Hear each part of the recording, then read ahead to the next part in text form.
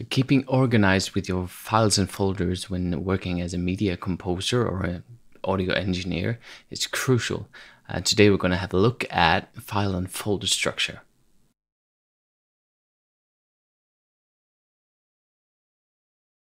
You don't want to be the person that are missing files or losing backups or uh, will have to go and re-record or try to fix your own mess. And even though you probably don't want to be that person, you probably are going to be sometimes. And I've been there, I've done all the things. So I'm gonna show you the, the way I like to work right now uh, with the things I've learned. But hey, if we're just meeting, my name is Tormod, and on this channel, Sifter Studios, we're doing mixing tutorials, tricks, and uh, composing stuff. And uh, we're also doing productivity talks, and I bring my wife in some of the times as well. So if that sounds interesting, be sure to subscribe to get notified when I post a new video. Okay, so talking about file structure, you can you can look at this a couple of different ways. You can talk about how do you organize your project in your DAW. Uh, how do you organize your files in your folders on your hard drives? How do you uh, organize your hard drives even so you can go from a, a high up level and go really detailed, all right? Today we're looking at file and folder structure, but we'll have a look at how I organize my, my projects in my DAW in another video. Okay, so we, if we start at a really high level, these are my hard drives. Uh, so I have a local, uh, like a system drive. Uh, I have a uh, sample drive, uh, which is NVMe, and I have a couple of sample uh, drives. All of these are for my orchestral stuff, film, film scoring stuff. and then I have a main SSD, one terabyte, that I use for active projects other than that, I have a networked computer uh, that's also storing more of my archives and stuff. So why don't we first look at um, my active projects. So look uh, into my main SSD uh, and I have, I, I always name my folders with numbers. That way they will uh, sort themselves uh, by, by number, like not alphabetically, but by numbers and then by letters so that I can decide what order I want things in. So I have current uh, projects and current video. Video is for YouTube and stuff. And project, current projects uh, is my working folders. So sadly, I can't show all of these uh, folders, but we can have a look in uh, one of these. So let's see. Let's have a look at this uh, EP that I'm currently working on with a band called Playground. Uh, this is what my audio engineer folder looks like.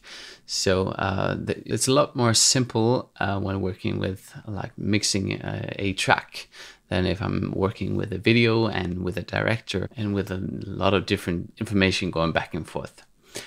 I have two folders here that I have in every every uh, project that I do, and that's one folder called Files In and one folder called Delivery. So Files In would be every file that I've ever gotten from uh, from the client. And the deliveries is the mixes that I'm sending back. And I like to keep them at like the top level of the of the project folder so that I very easily can find them. I also name the deliveries in a certain way so that I can find them uh, a lot more easily, which I'll, I'll show you a little later in the video how I do that. And these are the uh, project folders for the specific uh, songs that I'm, I'm doing. So uh, here as well, I have different versions for the different stages of the mix. Now, if we have a look at more uh, a little bit more complicated setup, uh, we can uh, go through to our slave computer and open up our hard drive. Uh, here I have, this is another example, a little quick quickie. Uh, if you do X or Y, that's in the end of the alphabet, so those will go at the bottom right. Okay, Sifter Studios. Uh, I go into the folder tree here and I'm sorting after what the different types of work that I do. So compositions, mixes, productions, and transcriptions is more for for my own uh, education portfolio is a portfolio video uh, is uh, like archived videos. And at the bottom, I have a folder called template folders. So let's have a look at what's in there. So this is what I would start with um, when working on a video. If it uh, it could be a commercial, it could be a short film, could be whatever, right? I have these folders, uh, and I'm I'm not always using all of the folders, but I start with these.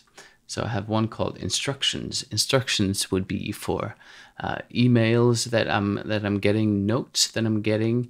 Uh, I, would like to kind of archive everything in one folder. That's that's the idea, so that if I want to revisit this project, in like in two years from now, I'll have one folder that has everything associated with uh, that project.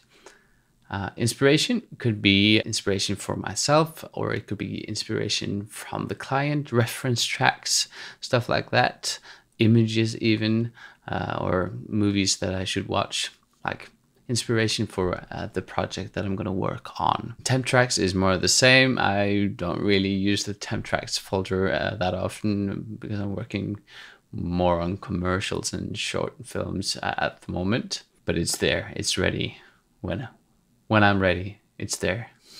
Folder number four is a video. I, I like to have all of my video files uh, right here. So this is this could be like a files in, but but only for for the videos. Composition. This is where I would have all of my project files or, or my main project file for what I'm actually composing. And uh, depending on if I'm mixing in the same uh, DAW or if I'm moving into Pro Tools, uh, then I would uh, export the audio stems and uh, then I could find the both of the files and the project for the mix in this mix folder. And finally, bounces would be my delivery folder, kind of. So I'm going from two folders when I'm working on simpler projects to like a seven folder structure uh, when I'm working on bigger things. And I guess we could have a look at like some of the other organizing that I do. I, I love looking at how other people organize this stuff. So in my comp compositions folder, I, I have even more kind of this is kind of the archive, right? So I'm sorting uh, in a way that makes it easy to find if I need to go back. Uh, but I have short films, commercials, competitions. Competitions would be uh, like uh, like a sample library composition. I have two compositions. Uh, and uh, arrangement would be not my own compositions, but arrangements of some things. Uh, ThinkSpace is where I did my master's degree in film scoring. So that's uh, have a lot of folders here, neatly organized. Uh, practice and stock and fun. This is tracks made for library music or uh, like a specific uh, product uh, music. Uh, like this is this Dungeons and Dragons soundbar I did, and, and all sorts of stuff ideas to rescore is my way of kind of keeping ideas that I uh, think can become something sometime, and I'll just bounce an audio file so that I can work work on it sometimes if I need an idea to start from. Stream specific is even more from my live stream. I did a, like a series on uh, a book called Making Music. Came to tip number five out of 74, so I have have some catching up to do. Uh, and uh, this is for the church that I, I, attend. And here again, I am using letters for stuff that I want to be on the bottom. So expression maps, this is a Cubase specific thing uh, or template building is also just a way to organize when I'm making a new template. And that's pretty much how I do my uh, folder structure with a very specific video.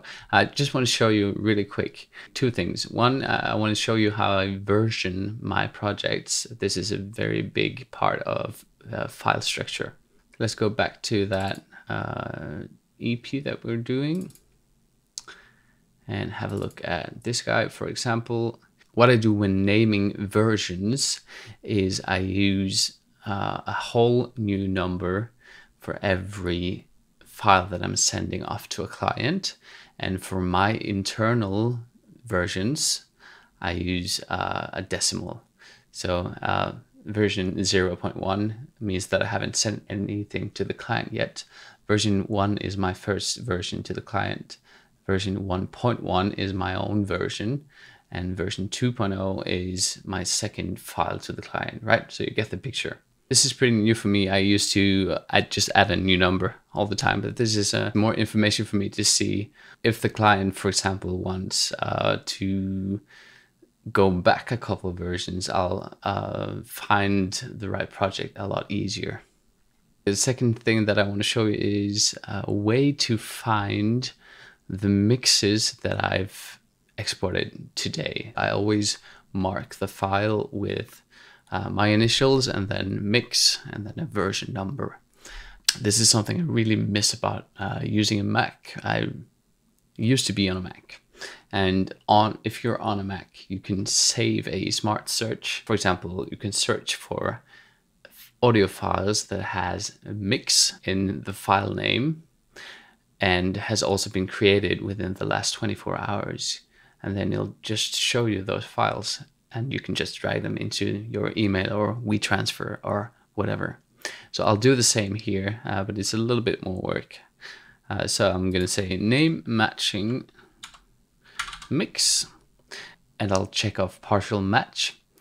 Uh, I'll say date within the last five days because I don't think I've made anything in the last day. Actually, I had to go back a lot more, so 25 days, all right?